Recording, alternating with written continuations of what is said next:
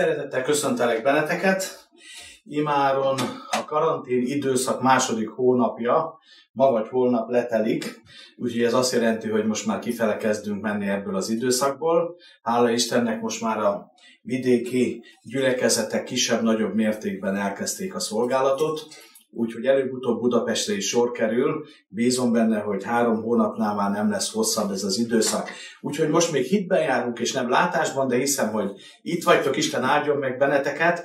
A héten beszélgettem egy-két testvérrel, akik az egészségügyben dolgoznak, és egy picit közel hozták nekem, hogy az egészségügy oldaláról hogy néz ki ez az időszak. Tehát tényleg egy frontvonal van ott, akik bent vannak hosszú szolgálatba, és jelezték, hogy nem tudom, hogy a munkatársaknak az egyharmada már megfertőződött, és nem nincs annyi ember, akkor többet kell dolgozni, meg egyéb. Tehát komoly kihívások és gondok vannak a frontvonalon. Úgyhogy szerintem most kezdjük azzal az Isten tiszteletet, hogy gyertek, álljunk föl, és imádkozni fogunk most különösen azokért, akik az egészségügyben dolgoznak, kérjünk rájuk egy isteni védelmet, jó, úgyhogy most Tóth Péter van velem, úgyhogy ő fogja vezetni ezt az imádságot, és, és imádkozunk azokért is, akik a, a gyülekezetbe, illetve a gyülekezetekbe, akár orvosként, akár ápolóként dolgoznak most az egészségügybe, hogy legyen rajtuk egy isteni védelem. Vezess bennünket, Péter! Mennyi édesatyám, hálát adunk, hogy a te nevedben itt lehetünk együtt a te színed előtt, és hogyha nem is lehetünk együtt fizikailag, de a szívünk együtt van, és Uram, ígéretünk van arra, hogy amikor egy akaraton hozzád jövünk, és könyörgünk, és hálát adunk neked, akkor te cselekszel. És Uram, elsősorban hálát adunk azokért, akik ott minden nap az erejükön felül szolgálnak, és cselekszenek, ahol szükség van. Uram, áldást mondunk azokra, akik az egészségügyben vannak, a betegápolásban, az idős gondozásban, és Atyám, a te védelmedet kérjük rájuk, az Úr Jézus nevében, hogy ez a vér ez legyen oltalom az életükön, hogy ez a fertőzés ez ne terjedhessen tovább, hogy legyen egy olyan immunitás és egy olyan ellenállás az életükön, az ő egészségükön, a fizikai testükön, a lelkükön, Uram, az a sok teher és az a sok megpróbáltatás, hogy legyen jelen kedvességből a Te védelmet, hogy oltalmazd őket, adj nekik felbátorodást, adj nekik erőt ebben az időszakban, és áldást mondunk rájuk, Uram, és áldást mondok azokra, akik most a betegágyon vannak, és, és szenvednek, és ez nehéz ez az időszak a számukra. Uram, hogy látogass meg őket. Egyrészt adj nekik a szívükben egy nyitottságot, egy keresést, hogy talán ez a nehéz időszak legyen alkalom arra, hogy megtaláljanak téged, Én hogy hozzád kiáltsanak. És tudjuk, hogy aki téged keres, az nem marad válasz nélkül, és annak te ajtót nyitsz.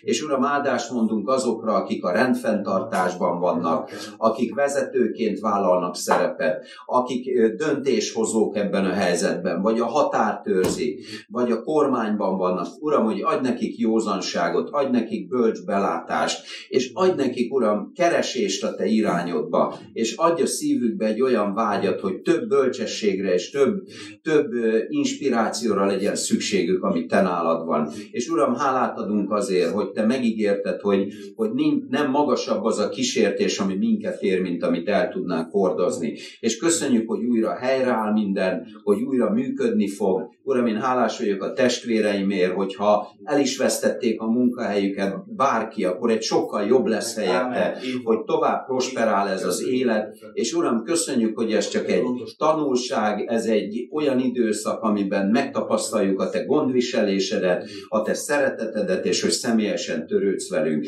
És köszönjük ezt az estét is neked, és köszönjük, amit ma a szívekben el fogsz végezni a Te igéd által, és mindenért neked adunk dicsőséget. A Jézus Krisztus nevében. Amen. Amen. Amen. Amen. Így legyen. Gyere, Szilvi, te is, jó? Hadd néhány kérdést hadd tegyek már föl, beszéljetek erről az időszakról. Köszöntünk téged, Szilvi. Velencéről, ugye, mint vállalkozók, Szia, mint Isten emberei, mint természetkedvelők. Hogy telt nektek ez a két hónapos időszak? Munkaügyileg, családilag is? Jól. Jól. Nagyon sok olyan dolgot tudtunk megcsinálni a karanténban, ami, ami elmaradt. Ami elmaradt, nem csak elmaradt, hanem ami, ha dolgozunk, akkor ez nem lehet, nem jöhetett volna létre, úgyhogy a kertben sokat dolgoztunk, nagyon sokat foglalkoztunk az igével, házi csoport, tot tartunk, tartottunk, a, a párosima zajlik, nagyon, nagyon jó, úgyhogy én is naponta többekkel imádkozom, úgyhogy Péterrel is minden reggel úgy kelünk, úgyhogy az ige tanulmányozást is követjük, úgyhogy én azt tudom mondani, hogy, hogy jó. Szuper. És akkor mindjárt kérdezem Pétert is, csak Szilvi, még mi az a bizonyság, ami mostanában történt veletek, ami egy meghatározó volt családi szinten? A Valentin fiúnknak a, a pályaválasztása már az is nehéz dolog volt, hogy mit jelöljünk be. Most nyolcadikos a, a fiunk, és nehéz volt kitalálni, hogy mi lesz az első helyen, második helyen, harmadik helyen, és nagyon a szívünkre helyezett az úr egy, egy bizonyos szakot, egy bizonyos iskolában, és ezért ment az ima, sokat imádkoztunk érte, Valentin sokat tanult, és nagyon jól sikerült a felvételéje, úgyhogy az a jó hír, hogy fölvették az első helyre, abba az iskolába és oda, amit szeretünk volna, és arra a szakra. Úgyhogy már meg is érkezett a papír, hogy köszönettel örülünk, hogy a mi iskolánkba fog járni, úgyhogy ennek nagyon, nagyon, nagyon hálás vagyok Istennek. Ez azért. egy fontos dolog Igen. egy diák életében. Igen. Nagyszerű, és mint, hadd kérdezem, mint vállalkozók, hogy telt ez az időszak nektek a munkában, a vállalkozásban? Ez most azért volt nekem érdekes, mert pont egy évvel ezelőtt volt, amikor amikor egy balesetem volt, és három hónapig nem tudtam dolgozni, és egyszerűen döbbenetes volt az Istennek azt a gondviselését megtapasztalni, hogy, hogy semmiben nem volt hiányunk, meg inkább pluszunk volt. És mm. most igazából én, én nekem is ügyfelekkel kéne találkozni, de két hónapja nem tudtam egyáltalán, de Isten úgy szervezte az összes folyamatot, meg voltak olyan otthon elvégezhető munkáim, hogy egyszerűen minden haladt előre, sőt még tovább lépni is tudtunk, úgyhogy én ezt nem tudom, hogy működik, ez olyan, mint a villany, hogy ahhoz se értek, csak tudom, ha azt ott megnyomom, akkor ez világít.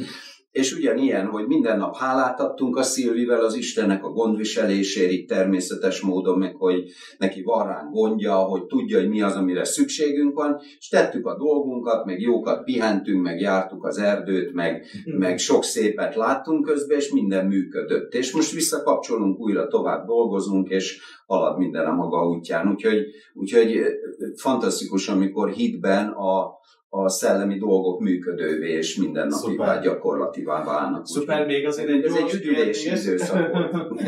nagyon jó, ott a Velencei dombok között nagyon szép helyen laktok. Mint természetkedvelők, mi az, ami leköt benneteket ott a környéken? Most Szilvitől kérdezel. Ma is voltunk kirándulni a Velencei hegyekben, úgyhogy már várjuk az esőt nagyon, mert nagyon szeretünk Péterrel gombászni, uh-huh. úgyhogy várjuk és imádkozunk esőért, jó nagy áztató esőért, Úgyhogy, de jártunk, voltunk kenuzni a környéken, Gemencen, Gemencen gyönyörű helyen a, a, a Véndunánál, Hát így. Akkor a kiárási korlátozás, ahogy érzékeltem. mi abban nagyon jók vagyunk, mert mi egyedül vagy ketten megyünk. Úgyhogy, úgyhogy ez, mi teljesen törvénytisztelők vagyunk, mert egyedül járjuk az erdőt, vagy kettesbe, és soha senkivel nem találkoztunk még. De hogy tudom halászni, vadászni, meg egyedül. Igen. Mikre vadászol mostanában, Péter? Hát most én dúvadazós időszak van, de ez nem szeretnék senkit untatni, de ami inkább különleges, amit én mostanában többször megéltem, mert egy héten vagy háromszor kimegyek este vadászni, és és döbbenetes szép az este. Tehát, tehát aki nincs kín, az nem tudja, hogy éjfél tájban milyen madarak énekelnek, hogy milyen a csillagos ég, hogy milyen a telihold, amikor az embernek ott árnyéka van, hogy milyen az, amikor semmilyen mesterséges zaj nincs, csak minden csak természetes. az, az azért ritka.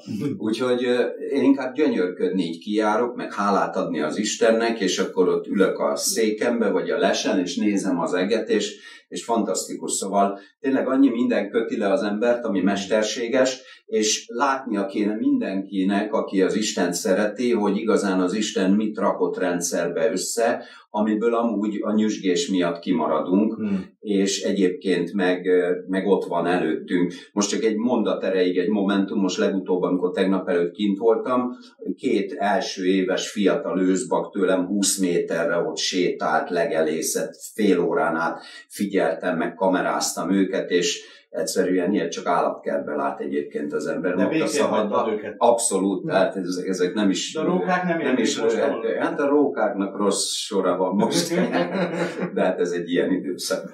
Szuper, köszönjük szépen! Köszönöm. Foglaljatok helyet, és fogadjátok szeretettel Pétert, aki fogja most az Isten igét hirdetni.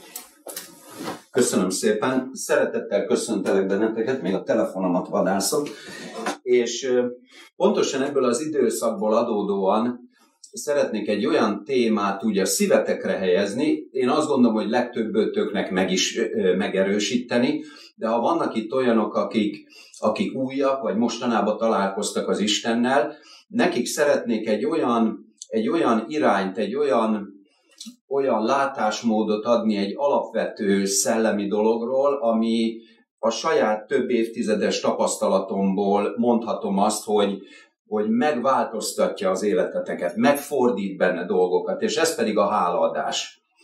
Van egy nagyon kedves igém, az 1 Tesszalonika 5.16. verse, amelyik azt mondja, hogy mindenkor örüljetek, így összefoglalja tényszerűen azokat a szívbeli tennivalóinkat, ami előre viszi az életünket.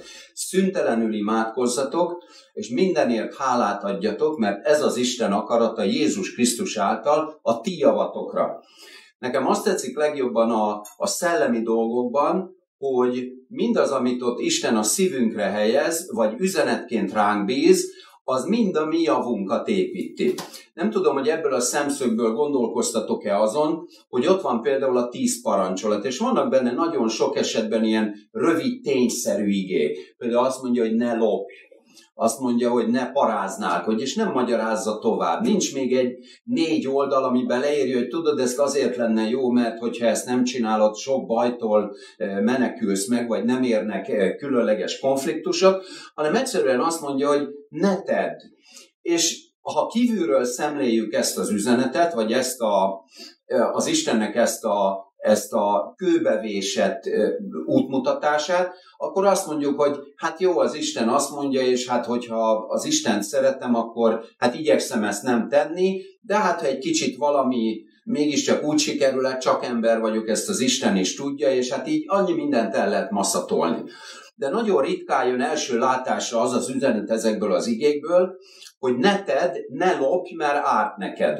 Ne paráználkodj, mert árt neked ne tégy olyat, ami az Isten beszédével szemben van, mert olyan ajtókat nyit meg az életeden, ahol az, aki a vesztedet, a károdat, a, az alacsonyabb szintre kerülésedet, vagy a pusztulásodat akarja, az jogot kap ehhez, hogy beavatkozzon. Tehát ez nagyon, nagyon ritkán jön le első látásra, csak amikor az ember ö, többször került bajba, és utána ott gondolkodott azon, hogy hát hogy, hogy lett ez az egész, hiszen olyan jónak nézett ki, és annyira kecsegtetőnek látszott ez az egész, akkor hogy jöhetett ez ki a végén? És most épp van egy barátom a gyülekezetben, akivel nagyon sokat beszélgetünk, így naponta is telefonon, és így bátorítjuk egymást, és, és sok minden előkerül a hétköznapokból, és mind-mind, minden alkalommal ő is, ahogy így számot vet az életéről, és most egy nagyon pozitív, nagyon komoly változásban van, egyszerűen ő maga is látja azt, hogy milyen könnyű becsapottan élni, hogy milyen könnyű olyan utakon járni, ami jónak néz ki, de hogy az ige mondja a végén a halálba vezet. Hogy milyen, milyen könnyen és milyen fogékony az ember a szívében arra, hogy egyébként a bűnt válassza teljesen jó szándékkal.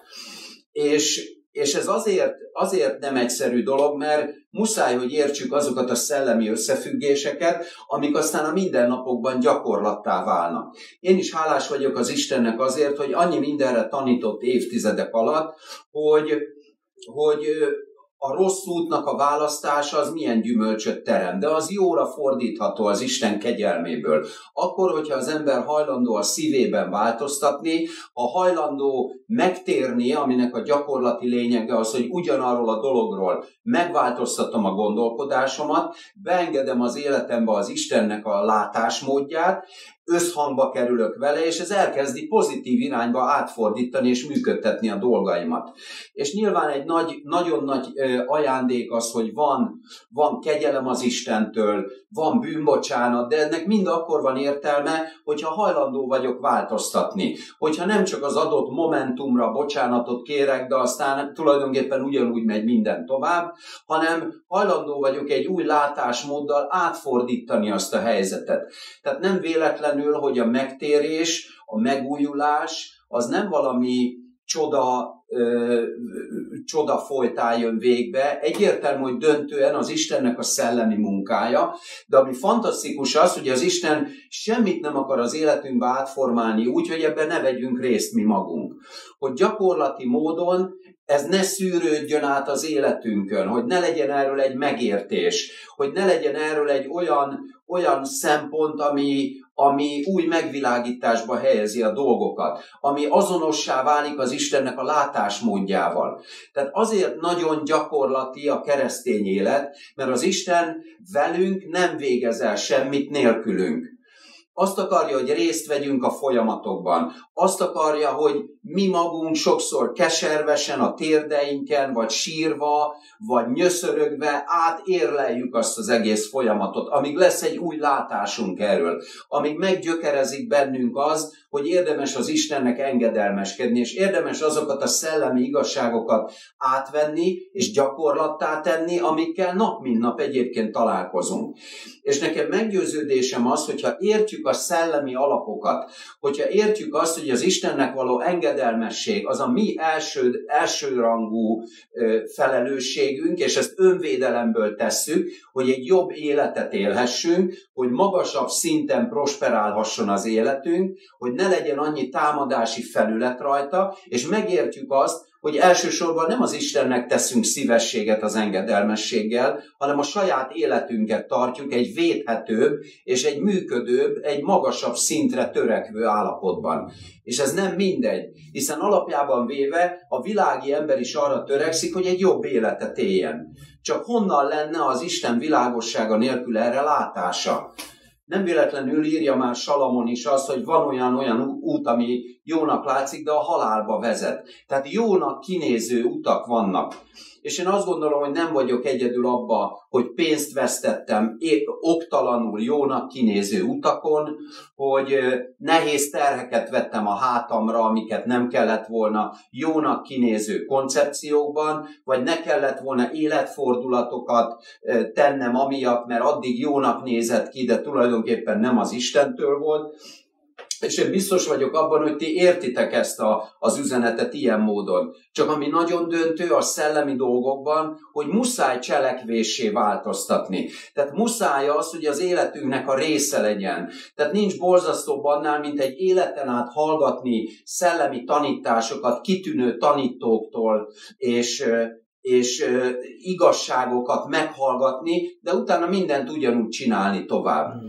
És nyilván értjük azt, hogy van is egy ilyen világi mondás, hogy talán a, a, a ja, inkább nem kezdek bele, mert pontosan most nem emlékszem rá, de hogy nincs nagyobb butaság, mint, mint mindig valamit meghallgatni, de változást várni úgy, hogy egyébként nem változtatok semmit. Tehát valójában ez a lényege. És az egyik legizgalmasabb dolog a kereszténységben, és az, Isten, az Istennel való járásban, hogy el kell kezdeni a szellemi igazságokat működtetni hogy gyakorlattá kell tenni olyan dolgokat, amiknek nem látható az eredménye, amiknek nem látjuk a kimenetelét, csak a hitünk rá van támasztva erre az egészre. És nagyon fontos, különösen azoknak szeretném mondani ezt, akik még most ismerkedtek akár a hittel, hogy minden szellemi dolog, akár a akár a gonosz világ irányából, akár az Isten gondviselésének az irányából, mind a két szellemi irány csak hitáltal érhető el.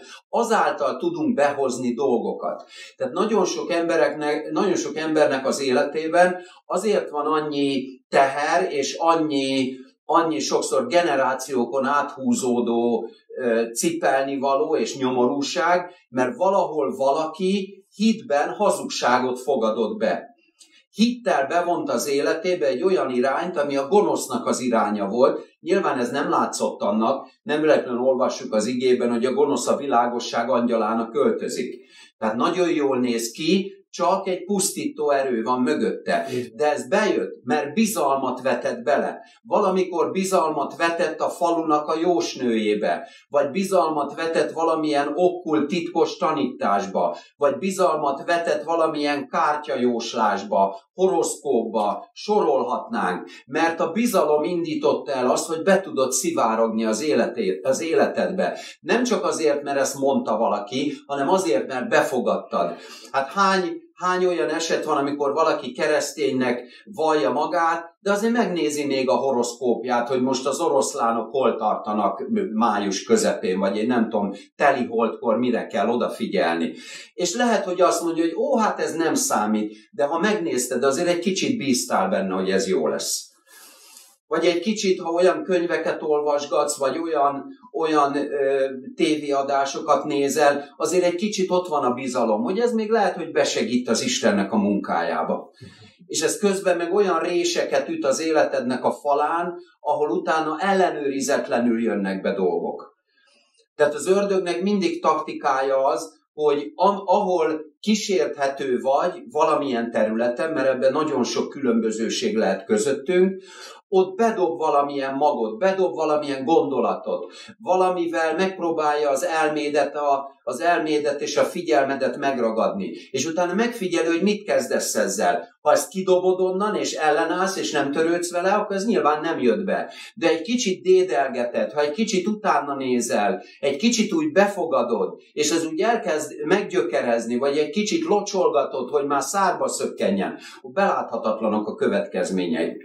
Tehát az a hatalmas tölgyfa, amit sokszor ámulok, vagy bükfák, bakonyba sokat járunk a Szilvivel, amikor olyan időszak van, és 10 kilométereken át erdők vannak, és olyan bükfák vannak, ezek a fehér törzsűek, amiknek csak magasba indul el a koronája, hogy így ketten tudjuk átfogni. De az valamikor egy másfél centis magból indult el az nem úgy lett ott, az nem úgy nőtt csak, hogy, hogy egyszer csak ott megtermett, hanem elindult, és az Isten fölsarjasztotta, és, és sejtről sejtről növekedett, és ma 40 méter magas.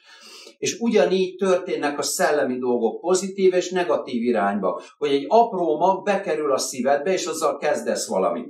És hogyha ez bekerül a gonosztól, akkor fölnő benned valamilyen megtévesztés, valamilyen hazugság, ami lehet, hogy egy évtized múlva derül ki, hogy egy kerülő út volt, hogy ezt nem kellett volna. Lehet, hogy ott érezted, de nem dobtad ki, hanem ott maradt, és locsolgatva lett. Tehát ezért nagyon fontos, hogy időszakonként átnézzük, átgondoljuk az életünket, hogy mi az, ami, mi az, aminek a mentén haladunk. Tehát milyen üzenetek mentén épül föl az életünk. Mire van a bizalmunk rátámasztva. Mi az, ami számít, aminek van a szemünkben értéke. És mi az, amit már onnan ki kellene gyomlálni, és ki kellene dobni. És ugyanilyen az Istennek az útja, hogy befogadod azt a magot, hogy lehet az első lépésben talán az, hogy lehet, hogy mégis igaz, amit Istenről hallottál, hogy lehet, hogy egy személyes valóság, hogy lehet, hogy Jézus tényleg föltámadt, és be szeretne az, évet, az életedbe avatkozni, és följebb szeretné emelni. De ezzel kellene kezdeni valamit.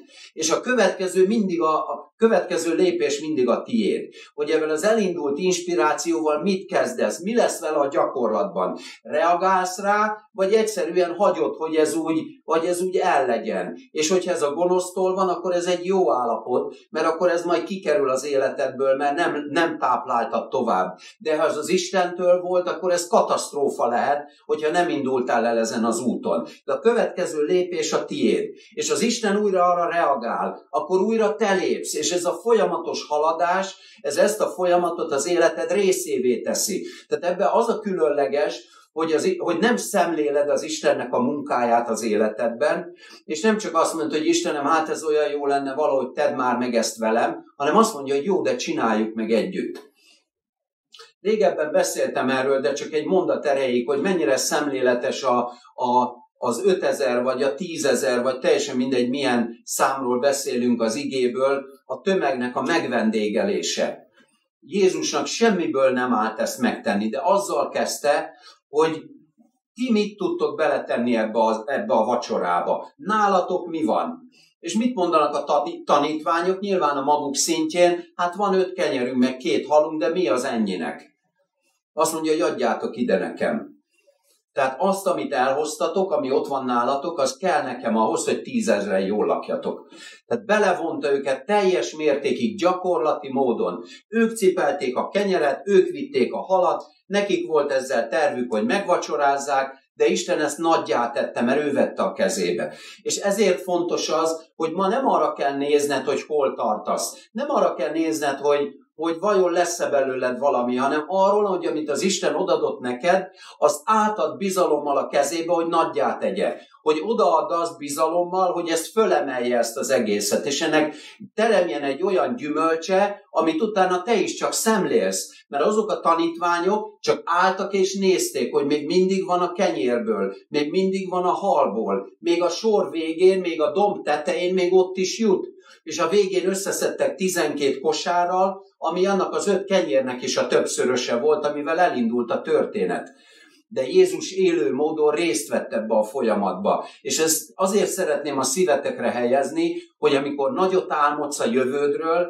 amikor vannak előtte perspektívák, akkor ne arra néz, hogy most hol vagy, hanem arra néz, hogy van egy olyan élő Isten, akire a tekintedetet ráemeled, akinek bizalommal odaadhatod az öt kenyeredet, ami van, és egy vállalatot épít belőle, ha azt akarja, hogy ezt rád bízza de ehhez bizalom kell, ehhez az a fajta hozzáállás kell, amit te tudsz a szívedben megtermelni. Mert az Isten annak a mértékében fog az életedben cselekedni, amilyen mértékében a hitedet hajlandó vagy ott meggyökeresztetni. Nem véletlenül mondja az ige azt, hogy legyen neked a te hited szerint.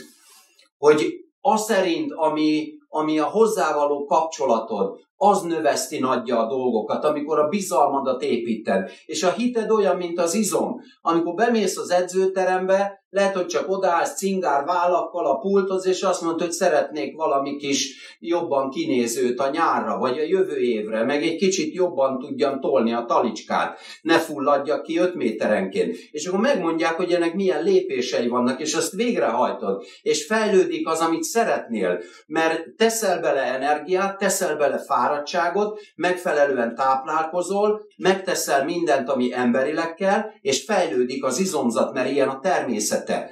A hited ugyanilyen módon növekszik. Az Isten nem, nem ereszti rád azt a hitet, ami majd tíz év múlva kell abban az életszakaszban, hanem el akar indítani.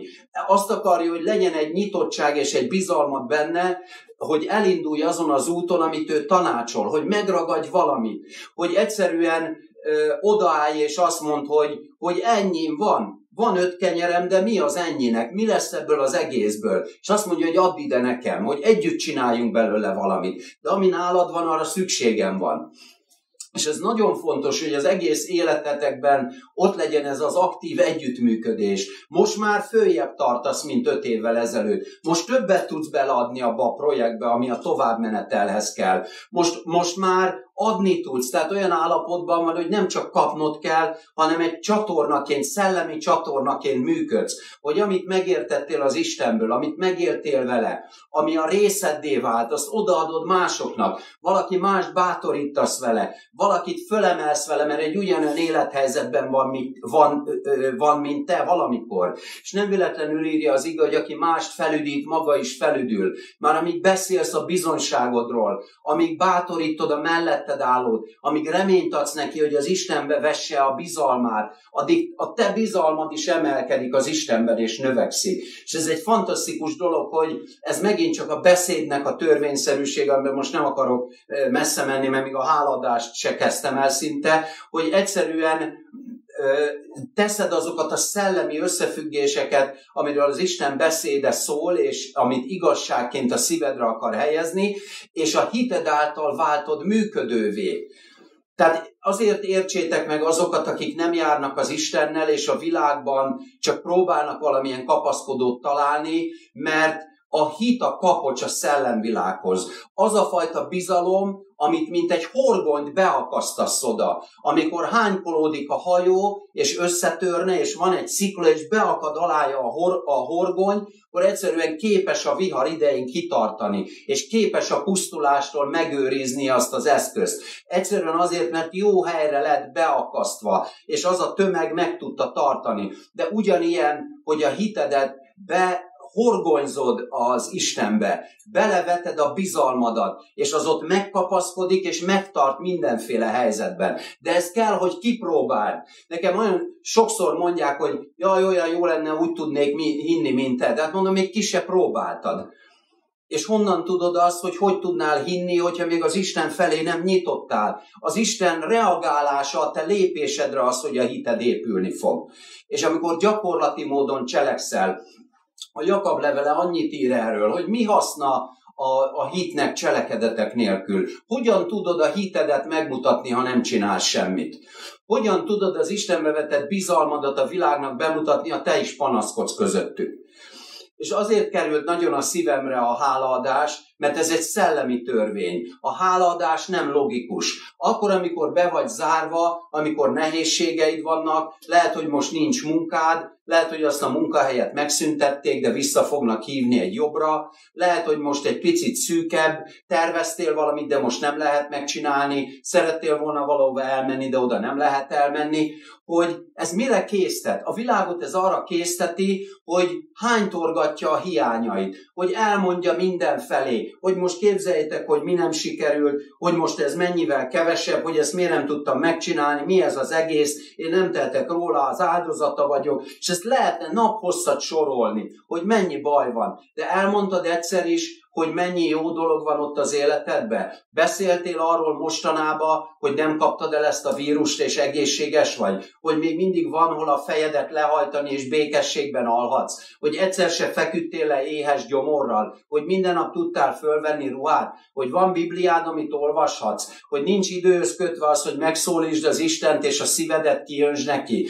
Hogy elmond azt, hogy milyen jó az, hogy benne van az életed meggyökerezve, és békességed van, és hála hálaadásod és örömöd van? Hát mennyire függnek ezek a külső körülményektől? Mennyi függ az Isten, mennyire függ az Istentől való örömöd attól, hogy most van-e munkahelyed, vagy nincs? Az egy külső dolog. Az Isten megígért, hogy az övé nem lesznek kenyergéregetők. Elég ez? Tehát elég ez ahhoz, hogy hálát adj? Vagy egyszerűen több kellene, az kell, hogy az Isten mindenáron ezt bizonyítsa. De bizonyítani fogja, ha bízol benne. Ha nem, akkor meg magadra maradsz. Tehát ezt azért azért, azért muszáj, hogy ezt, ezt mondjam nektek, mert mert én is, én is növekedtem ebben, én is változtam sok éven keresztül, és nekem is meg kellett értenem az, hogy az kiváltság a számomra, hogy egyáltalán az élő Isten megszólíthatom, és akkor írjak egy listát neki, tehát akkor meséljem el, hogy mi, mi hiányzik, és mit kéne teljesítenie, és hogy jó lenne ezeket ebbe a sorrendbe csinálná. Tehát milyen, milyen kapcsolat ez, milyen, milyen bensőség ez, milyen fajta bizalom ez, vagy nem jobb az, amikor azt mondod, hogy Istenem, itt vagyok, és amin van, azt oda akarom neked adni, és rád bízom, hogy, hogy te mit akarsz rám bízni. És milyen jó az, amikor szabadon és békességbe várakozhatsz arra, hogy az Isten fog cselekedni. És nem neked kell vért izzadni, és ne, nem neked kell körömmel kikaparni, hanem az Isten egy jobbat készített annál, mint amit te egyébként ki tudtál volna találni. Tehát nem véletlenül írja az Ézsaiás 55 azt, hogy az én gondolataim nem a tieitek. Az én gondolataim a, a, a felhők magasságában vannak, és, és nem azon a szinten, ahol ti mozogtok. Tehát milyen kiváltság az, hogy ebből a magasságból kapsz inspirációt. Milyen kiváltság az, hogy ebből a magasságból kapsz napi ellátást és gondviselést. És számot adtál ezzel, hogy milyen kiváltságos sorod van. Csak azért, mert az Isten dicsősége ott lehet az életedben. Csak azért, mert valamikor hoztál egy döntést, és beléptél az Istennek a királyságába, az ő dicsőségébe, és ezért cserébe elkezdett gondot viselni rólad. Mi az, ami igazán a hiányod? Tehát mi az, ami, ami ne lenne ami ne lenne megelégítő, amikor a legmélyebb szükségek mindig a szív mélyén fakadnak. Ha megnézzük a világot, annyi embernek van annyi mindene, és olyan szomorúság van, és olyan nyomorúság van, és olyan üresség van, és félelem van. Tehát nem véletlenül írja az ige a János levelében, hogy a teljes szeretet az, ami kiűzi a félelmet. Mert a félelem gyötrelemmel jár, és aki fél, az nem lett teljessé a szeretetben. És ez egy tükör az életünk elé. Ha őszinte vagy magadhoz, félsz, vagy az Isten szeretete megóvettől? Aggódsz a jövőd miatt, vagy elég az Istennek a kegyelme? És nem kell, hogy ezt hangosan kimond, vagy bárkivel megozd, de te tudod a szíved mélyén azt, hogy melyik az, ami dominálja az életedet. És tudod azt, hogyha híreket hallgatsz, akkor akkor attól nem kell félned. Az a hír nem azért van, hogy az életed egy rettegés hozzon, hanem azért van, hogy információt kap. Lehet, hogy olyan dologról, amire akár szükséged van. És én sosem értettem azt, hogy hogy miért kell rossz hírektől ö, félni vagy aggódni. Hát miért? Hát az a hír befolyásolja az én életemet, vagy az Isten kezében vagyok. Nyilvánvaló, hogy vannak józan lépések, amire oda kell figyelni. Én is figyelek híreket, mert azt gondolom, hogy nagyjából képet kapok arról, hogy mi a kötelességem, hova mehetek, hova nem, mit tehetek. Az hogy az erdőről nem beszél senki meg a kenuzásról, mert ott nem is látok embert, és nyugodtan tehetem. Tehát nekünk egy nagy ajándék és különös kegyelme volt az Istennek, hogy mi eddig is úgy éltük az életünket, mint most karanténba. Csak akkor többet jártunk dolgozni, most meg többet járunk a szabadba. De nagyon nem változott semmi. És egyszerűen nyilván, hogy kell, hogy józanok legyünk, és kell, hogy odafigyeljünk dolgokra. De miért érint meg a félelem?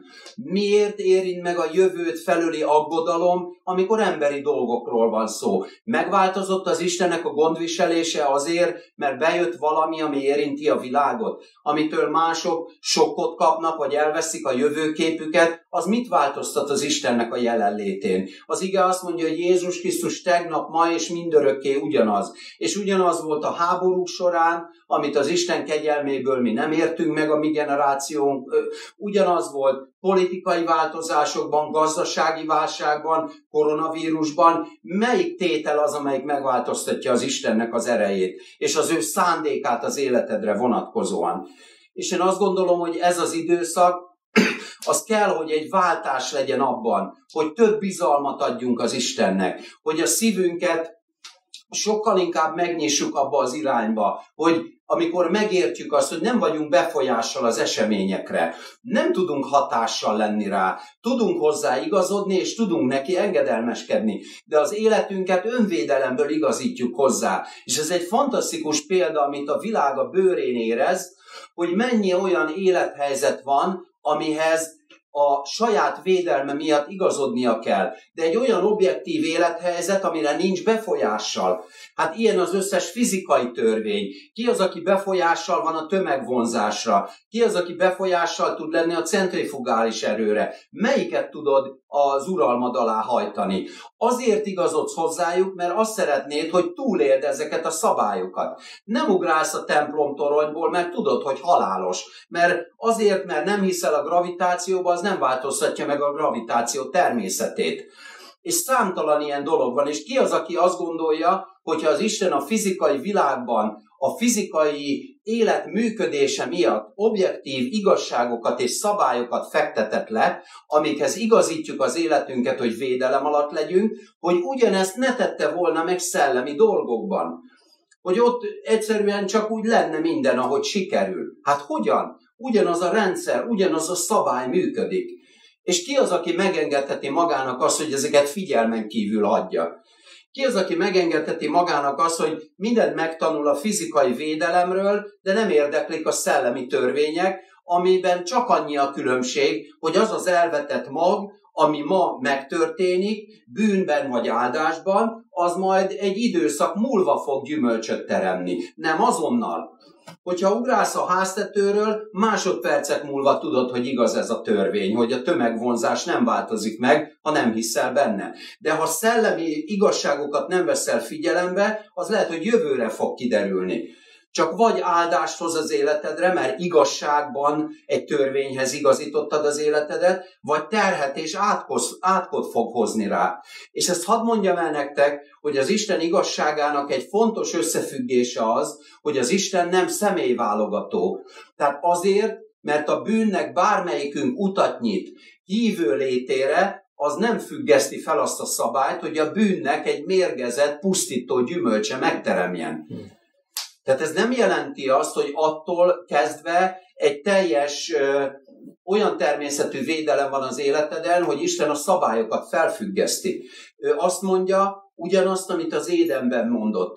Itt van ez, amihez ne nyúljatok hozzá, mert halálos. Ne tegyétek, nem, ő, nem veszem körül semmivel, nincs villanypásztor, nincsenek kérubok, nincsenek angyalok, ne nyúljatok hozzá, bízzatok bennem, hogy ezt a javatokra mondom. Ma ugyanez az üzenet.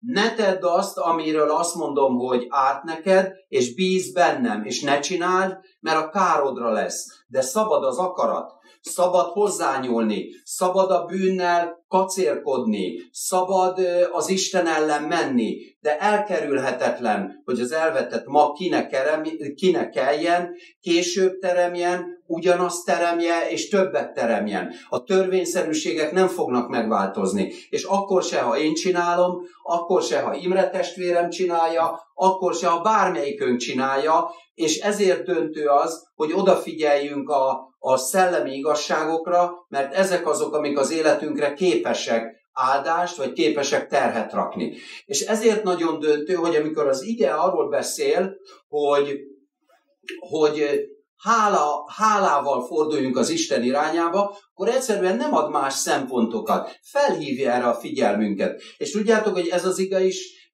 mivel kezdődik? Azzal, hogy mindenkor örüljetek. És hogyha megnézzük a Filippi négyet, ott ugyanez van, ugyanezzel kezdődik ez az ige, hogy hogy örüljetek az Úrban mindenkor, ismét mondom, örüljetek. Tehát ezzel kezdi, ez, ez az iránymutatás. És ha őszinték vagyunk magunkhoz, hogyha őszinte vagy magadhoz, akkor most bármilyen élethelyzetben vagy, tudod azt mondani, hogy az Istenben tudok örülni. Nem tudom, hogy lesz, nem tudom, mi a folytatás, de annyira jó az Isten irántam, hogy tudok ebben örülni, és ez egy fantasztikus szabadságot ad neked. Mert ha tudsz örülni, akkor nem fogsz aggódni. Ha tudsz örülni, akkor elkerül a félelem. Mert nem lesz az gonosznak fogása rajtad, mert az örömöt ebben az élethelyzetben csak az Istenbe vetett bizalmat fogja kitermelni. Az, hogy nem a láthatókra nézel, nem a körülményekre nézel, hanem arra az Istenre, aki megígért, hogy a gondodat viseli. És ez örömöt,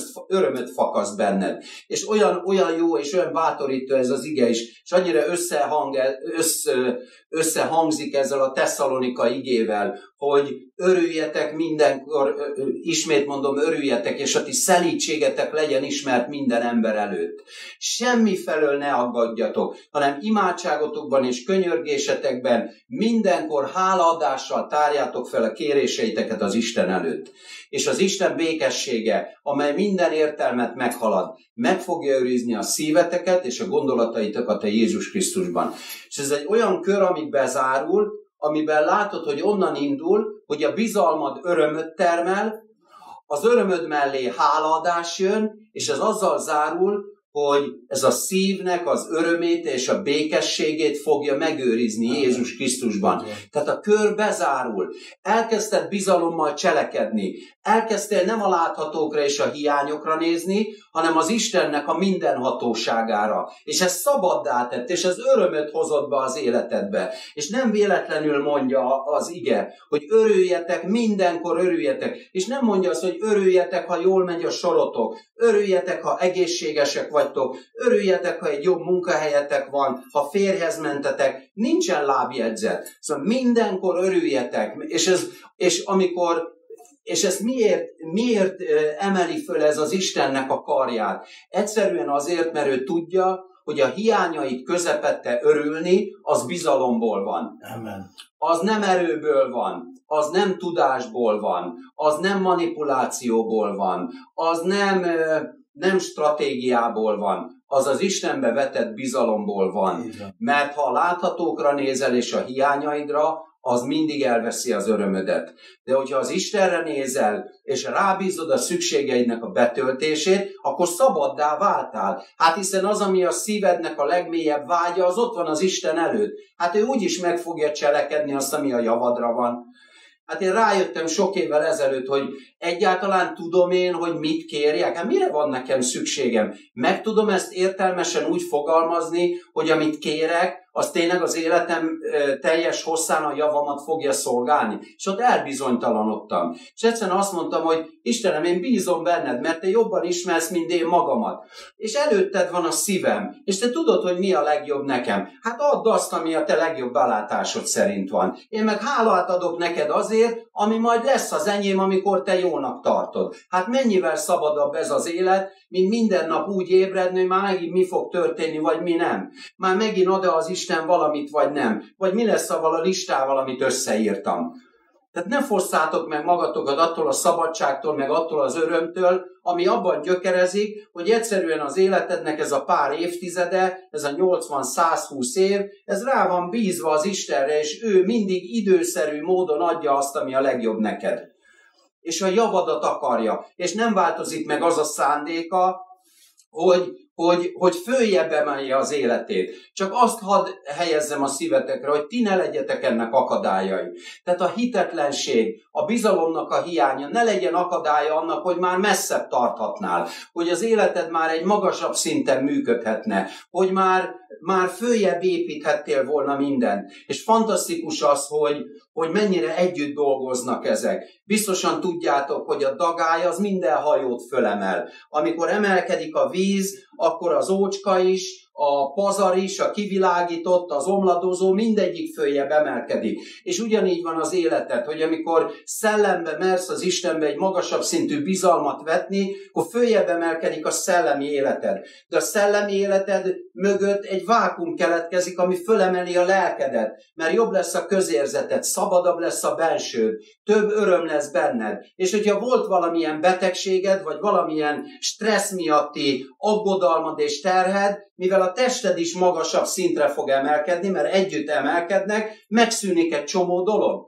Egy csomó olyan, ami, ami, ami panaszod volt, ami gyógyszerek évek alatt nem mulasztottak el, amire a szakorvosok széttárják a kezüket, hogy nem is értik, mert a leleted rendben van, de közben ott nyomaszt valami. És lehet, hogy az aggódás, a jövőtől való félelem, lehet, hogy a bizalomnak a hiánya, lehet, hogy az alkalmatlanságodnak a képe, számtalan dolog lehet, de ezeket elengeded, odaadod az Istennek, mellé teszed a bizalmad, azt mondod, hogy ez az, amit össze tudtam idáig hozni, itt van ez a romhalmaz, amit odadok neked, hogy ebből lehet-e valamit csinálni, és elengeded, és szabaddá válsz, és erre reagál a szellemed, reagál a tested, és reagál a, a lelked, és együtt följebb emelkednek, és fogod látni, hogy hogy válik valóra egy olyan szellemi igazság, amit csak olvastál, és hogy lehet ez, az egyszerűen elkezd az életedben működni. És ez majd fog dinamizmust adni annak, hogy az Istenbe való bizalmad nem hiába való. Mert az Isten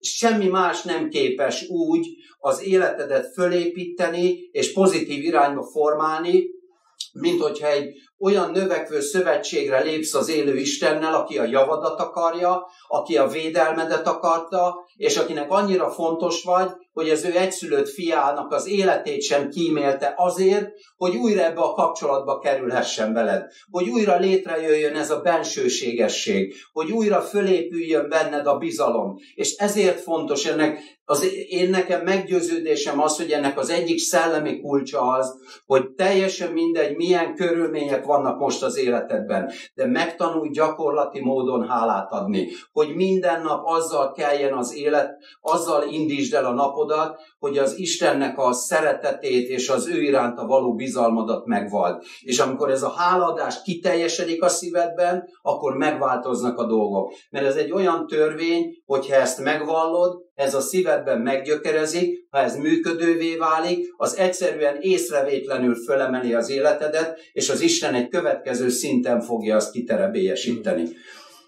Nem is akarom a szót szaporítani, köszönöm a, a figyelmeteket, és, és Isten áldjon meg benneteket. Én is várom a mielőbbi személyes találkozást, mert azért így csak egy lencsébe beszélni, ez egy furcsa találkozó, de legyetek áldottak, és hogyha ez eddig nem volt az életetek gyakorlat, akkor ne felejtsétek el, hogy a hátralévő életeteknek ma van az első napja. Tehát ezt ma még el lehet kezdeni, és ez emelje egy, egy következő szintre az életeteket, és Isten áldjon meg benneteket. Köszönöm. Amen. Tehát a hálaadás felemel. Atyám, és hálát adunk neked, és neked adjuk a dicsőséget. Most itt együtt, egy akarattal. Uram, azokért a jó dolgokért, amik vannak az életünkben. Köszönjük, Uram, a kegyelmet, köszönjük, Uram, eh, mindazt, amit kaptunk Jézus Krisztus által, a Szent Szellemnek az örömét, köszönjük a szellemi értékeket, a fizikai értékeket, a kapcsolati értékeket, és Uram, azokat a jó dolgokat, amikkel, amikben benne élhetünk, hogy egészségesek vagyunk, Uram, hogy vannak, van egy csomó jó dolog az életünkben, Uram, minden területen. Uram, ezért neked adjuk a dicsőséget. És Uram, imádkozom azért, hogy ez a hálaadó magatartás, szemléletmód, gyakorlat, hadd tudjon az életünkben meggyökerezni, maradandó lenni, a kapcsolatainkat hadd tudja felemelni, az Istennel való kapcsolatunkat hadd tudja mennyei tartalommal megtölteni a Jézus Krisztus nevében. Ámen. Amen. Így legyen. Köszönjük szépen, Péter. Isten áldjon meg téged, tehát a hálaadás felemel, ez teljesen így van, és gyakoroljuk naponta minden körülmények között. Úgyhogy gyertek, most pedig urvacsorázni fogunk, megemlékezünk arról, amit Jézus Krisztus tett, hívlak benneteket az urvacsorához, remélem elkészítettétek az úrvacsorát. Egy bátorító igét szeretnék felolvasni a Lukács 24-ből, a 30-32, amikor az Emmausi tanítványok mentek Jézus feltámadása után, és hát pont találkoztak valakivel. Nem is tudták, hogy ez a legmegfelelőbb személy, és nézzétek csak, mi történik a 30-ban, és amikor asztalhoz telepedett velük ez a személy, vette a kenyeret, megáldotta, és megtörte, és nekik adta. Erre megnyílt a szemük. Erre megnyílt a szemük, és felismerték, ő azonban eltűnt elő, előlük. Figyeld meg, amikor úrvacsoráztak, megnyílt a szemük. És most ez alapján fogunk úrvacsorázni. Hiszem azt, hogy a bűn az ördögi erők mindig homályt akarnak hozni ránk, hogy ne lássuk a dolgokat, ne lássuk, hogy mit cselekszik az atya, ne, ne tudjuk le, leleplezni az ördögi dolgokat is, hanem hogy egy ilyen homályba éljünk, és ezért megtéveszthetők, félrevezethetők legyünk. De most ezzel a hittel fogunk urvacsorázni, hogy ahogy Jézus urvacsorázott ezekkel az emmósi tanítványokkal, ahogy megtörte a kenyeret, megáldotta, és nekik adta, erre megnyílt a szemük. Jó, ezzel a hittel tegyük most, és vegyük a kenyeret. Gyertek, mondjunk egy megvallást. Atyám, köszönjük neked, Atyám, köszönjük neked. Az Úr Jézus Krisztus megtört testét. Az Úr Jézus Krisztus megtört testét. És ezzel a hittel fogyasztuk most el. És ezzel a hittel fogyasztjuk most el. Hogy ez az élet kenyere számunkra. Hogy ez az élet kenyere számunkra. Hisszük, hogy ez a gyógyulásnak a kenyere számunkra. Hisszük, hogy ez a gyógyulásnak a kenyere számunkra. És hisszük itt az ige alapján. És hisszük az ige alapján. Hogy megnyílik a mi szemünk. Hogy megnyílik a mi szemünk. Hogy tisztán tudjunk látni. Hogy tisztán tudjunk látni. Az életünk dolgaiban. Az életünk dolgai. Ezért hálát adunk neked, Jézus. Ezért hálát adunk neked, Jézus. És megemlékezünk a te halálodról és, és feltámadásodról. És feltámadásodról. A Jézus nevében. A Jézus nevében. Ámen. Ámen. Így fogyasszuk. Azzal a hittel, hogy megnyílik a szemünk, és látni fogunk a Jézus nevében.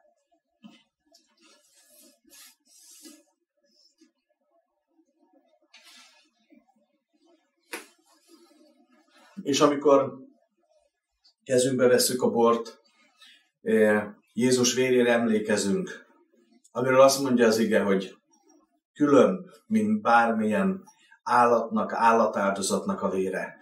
Hogy az ő bárányvére tökéletes és elegendő, hogy megtisztítson, hogy kegyelembe tartson bennünket. Nem magunk miatt, hanem Jézus Krisztus kegyelme miatt.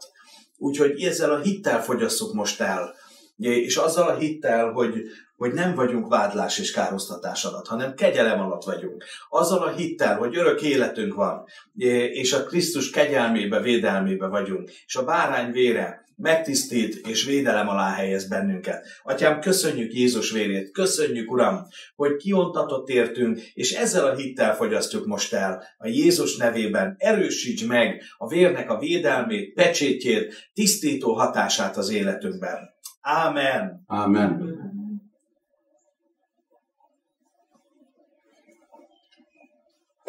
Atyám, és hálát adunk neked, hogy szövetségbe lehetünk veled.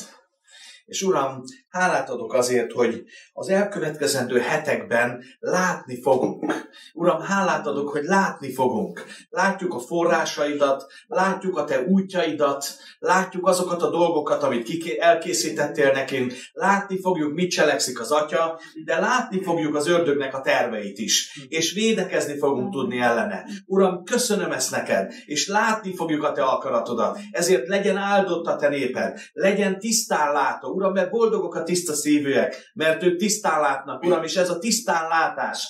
Csak szeretném megáldani a te népedet, hogy ez jellemezzen bennünket, ami mindennapjainkban, az üzleti életben, a munkánkban, a szolgálatunkban, a kapcsolatrendszerünkben, hogy kihez kell kapcsolódnunk, és kihez nem. Uram, legyen ez a tisztán látása Jézus Krisztus nevében. Legyetek most ezzel megáldva. Ámen. Ámen. És hisszük, hogy ahogy itt az ige mondja, ez meg tud történni a mi életünkben is.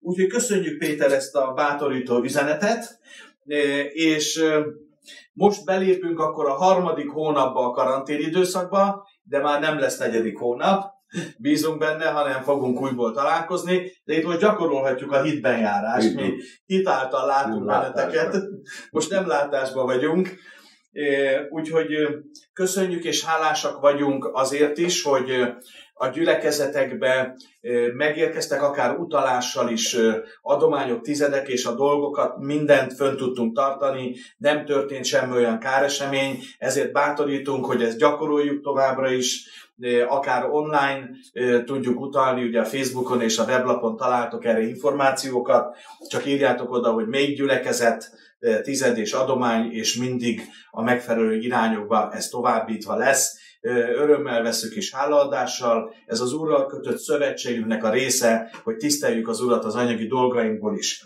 Ezentúl bátorítalak benneteket arra, hogy maradjatok velünk, kapcsolódjatok be kedden és péntekenként a Biblia tanulmányozásba.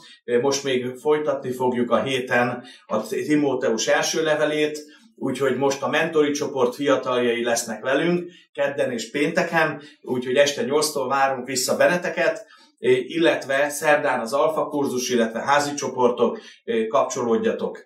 Úgyhogy Isten áldjon meg benneteket, és vidéki gyülekezeteknek pedig sok áldást kívánunk, akik már nem csak hitben járnak, hanem látásban is, hogy, hogy élvezzék újból ezt a közösséget a megfelelő higiéniai szabályok mellett. Úgyhogy legyetek áldottak, áldott hetet kívánunk mindenkinek. Örülünk, hogy ilyen módon közösségbe lehettünk. És köszönjük Jáfetnek is a technikai dolgokat. Isten áldjon meg benneteket.